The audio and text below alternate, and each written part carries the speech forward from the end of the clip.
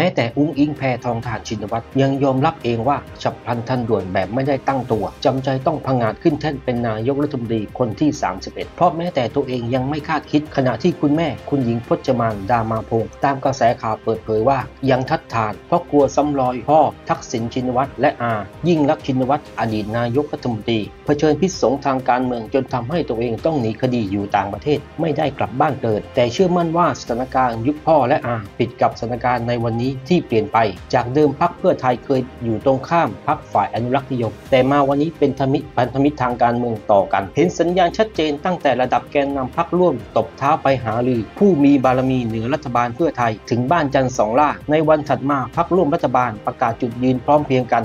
สนับสนุนนายกรัฐมนตรีที่มาจากพรรคเพื่อไทย และจะต้องไม่มีการแก้ไขมาตรา 112 ทั้งอนุทินชาญวีรกูล หัวหน้าพักภูมิใจไทย พีระพันธุ์สาลีรัฐวิภาคหัวหน้าพรรครวมไทยสร้างชาติ ตามต่อด้วยพรรคพลังประชารัฐพรรคชาติไทยพัฒนา รวมถึงกองหนุนอีกนับไม่ถ้วน แม้แต่พลตำรวจเอกเสรีพิศุทธ์เตมียเวสหัวหน้าพรรคเสรีรวมไทย ยังประกาศแบบไม่เหนียมอาย ผมเกิดมาพร้อมรับใช้พรรคเพื่อไทย ดังนั้นวันที่ 16 สิงหาคมนี้ไม่มีทางพลิกล็อกไปได้ แต่ที่ลุ้นกันระทึกนั่นคือชะตากรรมนโยบายเรือธงดิจิตอลวอลเล็ตจะอยู่หรือไป เพราะอย่าลืมว่าเจ้าไอเดียนโยบายเรือธงแจกเงินดิจิตอลวอลเล็ต10,000บาท คือเศรษฐาทวีสิน อดีตนายกรัฐมนตรีเพราะเป็นต้นคิดประกาศนโยบายบนเวทีปราศรัยหาเสียง ช่วงแรกของการเป็นรัฐบาล เศรษฐานั่งนายกควบรัฐมนตรีว่าการกระทรวงการคลัง แต่พอได้จังหวะปรับคณะรัฐมนตรี จึงเลิกถ่างขาควบกระทรวงการคลัง ปล่อยให้มืออาชีพทางเศรษฐกิจเข้ามาทำงานเต็มเวลา นั่นคือพิชัยชุณหวชิร แต่ก็ยังถูกปรามาสมาตลอดว่า จากนโยบายเรือธงกลายเป็นนโยบายเรือเกลือ เพราะเกือบปีแล้วยังไม่เห็นพายุหมุนทางเศรษฐกิจซัดโผงกระหน่ำเสียที ผิดกับนโยบายหยอดน้ำข้าวต้มที่พรรคเพื่อไทยเคยปรามาสโครงการคนละครึ่ง แจกเป็นเงินสด และหยอดเงินผ่านระบบแอปเป๋าตังค์ ในยุครัฐบาลบิ๊กตู่พลเอกประยุทธ์จันทร์โอชา อดีตนายกรัฐมนตรี แม้จะไม่ได้แจกตูมเดียวเป็นเงินก้อนโต10,000 บาท เหมือนดิจิตอลวอลเล็ตแต่ทยอยหยอดเม็ดเงินลงในระบบเศรษฐกิจเรื่อยๆ เงินถึงมือประชาชนโดยตรง แม้จะไม่ทำให้เศรษฐกิจไม่ไม่คึกคักราวกับพายุหมุน แต่ทำให้มีเม็ดเงินหล่อลื่น ในระบบเศรษฐกิจอยู่ตลอดเวลา ดังนั้นต้องรอดูวันแถลงนโยบาย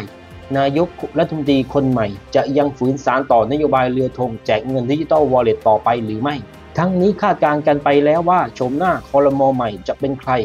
ที่ชัดเจนคือไม่มีพรรคประชาธิปัตย์มาร่วมแจมอย่างแน่นอน เพราะเพิ่งประกาศงดออกเสียงไม่โหวตอุ้งอิง เป็นนายกรัฐมนตรี และไม่เสนอชื่อจุลินลักษณะวิสิทธิ์ลงแข่ง เช่นเดียวกับพรรคร่วมรัฐบาล โดยเฉพาะพรรครวมไทยสร้างชาติ ล่อนแถลงการย้ำชัดต้องได้ดูแลกระทรวงเดิม 4 เก้าอี้รัฐมนตรี นั่นคือพีรพันธ์สารีรัฐวิภาค นั่งรองนายกรัฐมนตรี ควบกระทรวงพลังงาน รวมไปถึงรัฐมนตรีว่าการกระทรวงอุตสาหกรรม รัฐมนตรีช่วยว่าการกระทรวงพาณิชย์